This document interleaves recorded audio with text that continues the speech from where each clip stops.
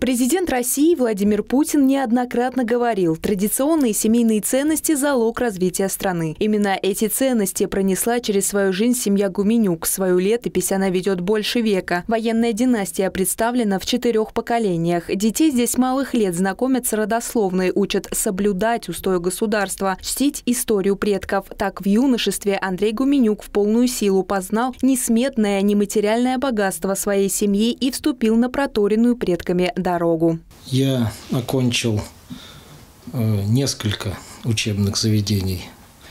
Э, сначала после школы это было Тверское Суворовское военное училище.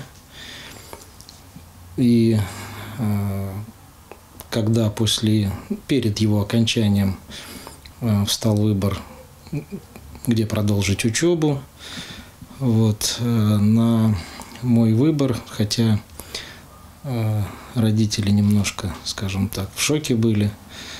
Э, повлияла профессия э, моего родного дяди, это старший брат моей мамы.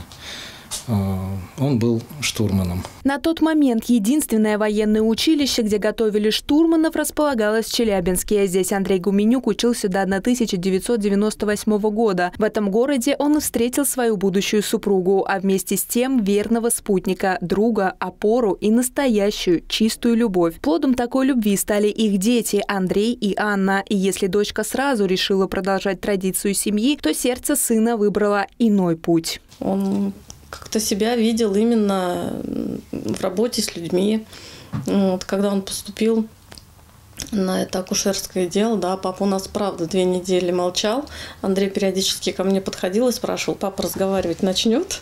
Папа будет с нами разговаривать? С того момента Андрей шел к своей цели, закончил колледж с отличием, принял решение стать военным медиком, подал документы на поступление в Питерскую академию. Однако баллов не хватило. Это маленькое поражение сподвигло начать новую главу жизни – финальную.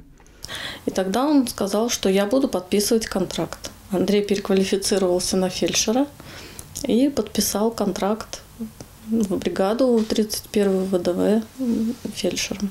Круговорот отваги, мужества и самоотверженности поглотил Андрея, не щадя себя, во имя других фельдшер роты погиб, защищая суверенитет России в зоне боевых действий на Украине. Но герои не покидают этот мир, они живут вечно в сердцах своих родных и соотечественников. Их дело поныне живет, а подвиг передает сил не только солдатам в час отчаяния, но и семьям бойцов. Так и семья Гуменюк, несмотря на тяжелый удар судьбы, продолжает идти по жизни чеканя шаг с гордо поднятой головой, продолжает традиции своей династии. О них Андрей и Ольга рассказали на всероссийском конкурсе «Семья года». Он прошел в Москве. Жюри подтвердило, истории династии Зульяновска нет равных. Гуменюк стали победителями в номинации «Хранители традиций».